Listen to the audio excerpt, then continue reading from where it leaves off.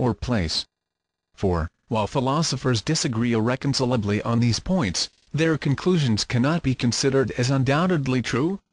Since absolute knowledge was considered unattainable, the skeptics declared the end of their discipline to be in opinionatives, imperturbance, in impulsives, moderation, and in disquietives, suspension. The sect of the Stoics was founded by Zeno 340-265 BC, the Citian, who studied under Crates the Cynic, from which sect the Stoics had their origin.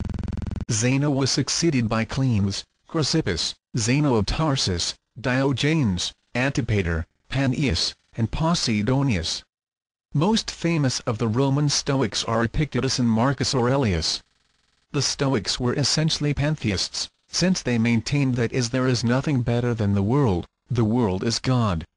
Zeno declared that the reason of the world is diffused throughout it as seed. Stoicism is a materialistic philosophy, enjoining voluntary resignation to natural law.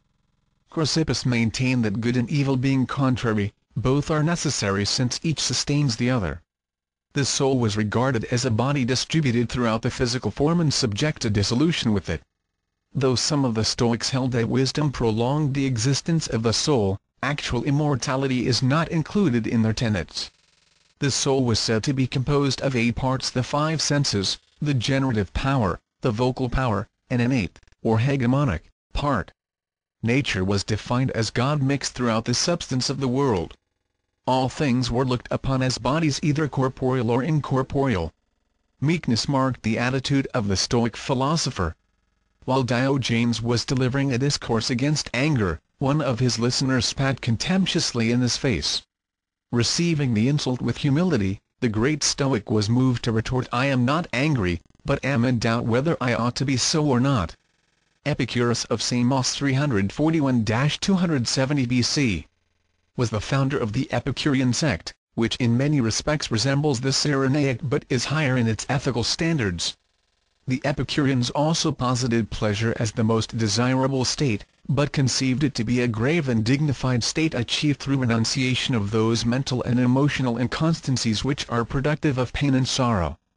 Epicurus held that as the pains of the mind and soul are more grievous than those of the body, so the joys of the mind and soul exceed those of the body the Cyrenaics asserted pleasure to be dependent upon action or motion. The Epicureans claimed rest or lack of action to be equally productive of pleasure. Epicurus accepted the philosophy of Democritus concerning the nature of atoms and based his physics upon this theory. The Epicurean philosophy may be summed up in four canons one sense is never deceived. And therefore every sensation and every perception of an appearance is true to opinion follows upon sense and is superadded to sensation, and capable of truth or falsehood. 3. All opinion attested, or not contradicted by the evidence of sense, is true. For An opinion contradicted, or not attested by the evidence of sense, is false. Among the Epicureans of note were Metrodorus of Lampsacus, Zeno of Sidon, and Phaedrus. Eclecticism may be defined as the practice of choosing apparently irreconcilable doctrines from antagonistic schools and constructing therefrom a composite philosophic system in harmony with the convictions of the eclectic himself. Eclecticism can scarcely be considered philosophically or logically sound, for as individual schools arrive at their conclusions by different methods of reasoning, so the philosophic product of fragments from these schools must necessarily be built upon the foundation of conflicting premises. Eclecticism, accordingly, has been designated the layman's cult. In the Roman Empire little thought was devoted to philosophic theory. Consequently most of its thinkers were of the eclectic type. Cicero is the outstanding example of early eclecticism, for his writings are a veritable potpourri of invaluable fragments from earlier schools of thought. Eclecticism appears to have had its inception at the moment when men first doubted the possibility of discovering ultimate truth. Observing all so-called knowledge to be mere opinion at best, the less studious furthermore concluded that the wiser course to pursue was to accept that which appeared to be the most reasonable of the teachings of any school or individual. From this practice, however, arose a pseudo-broad-mindedness devoid of the element of preciseness found in true logic and philosophy. The Neo-Pythagorean school flourished in Alexandria during the first century of the Christian era. only two names stand out in connection with it, Apollonius of Tyana and Moderatus of Gades. Neo-Pythagoreanism is a link between the older pagan philosophies and Neoplatonism. Like the former, it contained many exact elements of thought derived from Pythagoras and Plato. Like the latter, it emphasized metaphysical speculation and ascetic habits. A striking similarity has been observed by several authors between Neo-Pythagoreanism and the doctrines of the Essenes. Special emphasis was laid upon the mystery of numbers, and it is possible that the Neo-Pythagoreans had a far wider knowledge of the true teachings of Pythagoras than is available today. Even in the first century Pythagoras was regarded more as a god than a man, and the revival of his philosophy was resorted to apparently in the hope that his name would stimulate interest in the deeper systems of learning. But Greek philosophy had passed the zenith of its splendor. The mass of humanity was awakening to the importance of physical life and physical phenomena, the emphasis upon earthly affairs which began to assert itself later reached maturity of expression in 20th-century materialism and commercialism, even though Neoplatonism was to intervene and many centuries passed before this emphasis took definite form. Insert. From Virgil's Aeneid. Dryden's translation. Virgil describes part of the ritual of a Greek mystery, possibly the Eleusinian, and his account of the descent of Aeneas, to the gate of hell under the guidance of the Sibyl.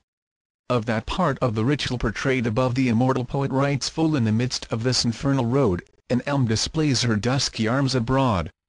The god of sleep there hides his heavy head and empty dreams on every leaf are spread. Of various forms, unnumbered spectres more. Centaurs, and double shapes, besiege the door before the passage horrid Hydra stands, and Briareus with all his hundred hands Gorgons, Geryon with his triple frame and vain Chimaera vomits empty flame. The chief unsheathed his shining steel, prepared, though seized with sudden fear, to force the guard. Offering his brandished weapon at their face, had not the Sibyl stopped at his eager pace, and told him what those empty phantoms were. Forms without bodies, and impassive air. Continued. Although Ammonius Saccas was long believed to be the founder of Neoplatonism, the school had its true beginning in Plotinus AD 204-269. Prominent among the Neoplatonists of Alexandria, Syria, Rome, and Athens were Porphyry, Iamblichus, Sallustius, the Emperor Julian, Plutarch, and Proclus. Neoplatonism was the supreme effort of decadent paganism to publish and thus preserve for posterity its secret or unwritten doctrine. In its teachings ancient idealism found its most perfect expression. Neoplatonism was concerned almost exclusively with the problems of higher metaphysics. It recognized the existence of a secret and all-important doctrine which from the time of the earliest civilizations had been concealed within the rituals, symbols, and allegories of religions and philosophies.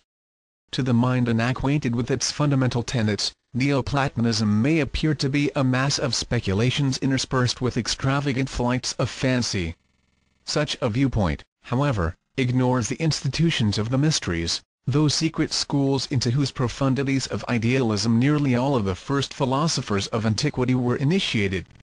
When the physical body of pagan thought collapsed, an attempt was made to resurrect the form by instilling new life into it by the unveiling of its mystical truths. This effort apparently was barren of results. Despite the antagonism, however, between pristine Christianity and Neoplatonism many basic tenets of the latter were accepted by the former and woven into the fabric of patristic philosophy. Briefly described, Neoplatonism is a philosophic code which conceives every physical or concrete body of doctrine to be merely the shell of a spiritual verity which may be discovered through meditation and certain exercises of a mystic nature. In comparison to the esoteric spiritual truths which they contain, the corporeal bodies of religion and philosophy were considered relatively of little value. Likewise, no emphasis was placed upon the material sciences. The term patristic is employed to designate the philosophy of the fathers of the early Christian Church. Patristic philosophy is divided into two general epochs Ante-Nicene and Post-Nicene. The Ante-Nicene period in the main was devoted to attacks upon paganism and to apologies and defenses of Christianity. The entire structure of pagan philosophy was assailed and the dictates of faith elevated above those of reason. In some instances efforts were made to reconcile the evident truths of paganism with Christian revelation. Eminent among the